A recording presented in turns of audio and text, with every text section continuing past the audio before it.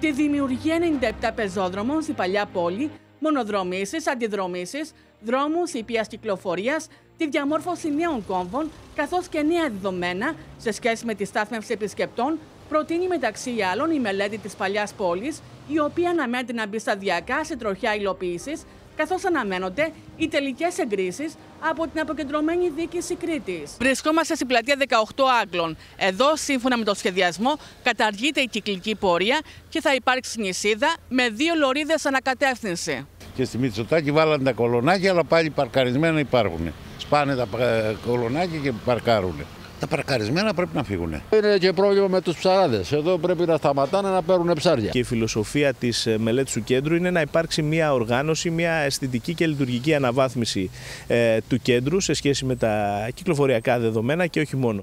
Ο επικεφαλής της μελετητικής ομάδας, Απόστολος Πρόιος, προτείνει τη σταδιακή κατάργηση των θέσεων στάθμευσης μόνο για τους επισκέπτες στον λεγόμενο μικρό δακτύλιο, ο οποίος ξεκινά από την παραλιακή μέχρι την Κορνάρου και την αύξηση των θέσεων για τους μόνιμους κατοίκους. Θα συμφωνήσω με αυτό μόνο εάν φτιάξουν πρώτα πάρκι περιφερειακά για να παρκάρουν όπως είναι σε όλες τις πόλεις. Δεν χρειάζεται αυτοκίνητα να μπαίνουν μέσα στην πόλη. Πού θα πάω να παρκάρω, τι θα κάνω γύρω-γύρω. Πρέπει να τον προσέχουν τον επισκέπτη. Εννοείται, διότι το σκέφτεται πολύ σοβαρά κάποιος να κατέβει στο κέντρο, να σκέφτεται ότι εκτός από το θα, θα κατέβει να πληρώσει είτε στα μαγαζιά μας είτε στα εμπορικά να πληρώνει και το πάρκινγκ. Η, η παλιά πόλη δεν μπορεί να είναι ένα τεράστιο πάρκινγκ. Θα τροποποιηθεί η ταυτότητά τους. Οι θέσει στάθμευση για τους επισκέπτε καταργούνται. Παζιακά θα καταργηθούν όλε και θα παραχωρηθούν οι θέσεις στάθμευσης μόνος στου μόνιμους κατοίκους. Ωστόσο, η Δημοτική Αρχή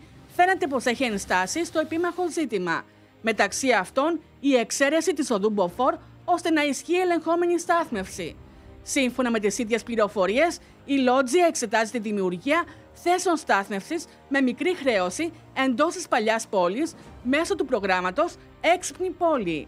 Αλλά για αυτούς τους επισκέπτες που δεν έχουν τη δυνατότητα να μπορούν να, έχουν, να περπατήσουν αρκετά, είναι πρόβλημα. Εμείς ζητάμε, αν μπορούμε, αυτές οι οριοθετημένες μπλε γραμμές που έχουν οι κάτοικοι, να μπορούμε τις ώρες που θα λείπουν, να μπορούμε και εμείς να τις χρησιμοποιούμε. Καλώς γίνεται η κυκλοφοριακή μελέτη, κακώς όμως δεν γίνεται μια καθαρά συγκοινωνιακή μελέτη. Βρισκόμαστε στην οδό Μερανδέλου. Ο μελετητής προτείνει να είναι άνοδος από την Μποφόρ με κατάληξη την οδό Ευρώπης. Ενώ τώρα είναι κάθοδος και είναι μία από τις σημαντικές αλλαγές της κυκλοφοριακής μελέτης. Σύμφωνα με τις αλλαγές, στο πρώτο στάδιο της μελέτης δεν μονοδρομείται η οδός Καλοκαιρινού από Αρχιεπισκόπου Μακαρίου μέχρι Αγίου Μινά, οπότε παραμένει διπλής κυκλοφορίας, ενώ θα πεζοδρομηθεί τμήμα της Καλοκαιρινού μέχρι το ύψος τη Καζάνη. Η ειδομενέωσος δρόμος ήπιας κυκλοφορίας συνεχίζει σε Μαλικούτη και Μποφώρ. Μεταξύ των αλλαγών, η οδός Άλμπερτ μετατρέπεται σε ήπιας κυκλοφορίας και παραμένει άνοδος από τη λεωφόρο Πλαστήρα, αντιθέτως η οδός Βιάνου προτείνεται να είναι κάθοδος. Προφανώς και θα προτεραιοποιηθούν τα ζητήματα κυκλοφορίας και οδικής ασφάλειας. Μικρές παρεμβάσεις, μεγάλου αποτελέσματος όμως.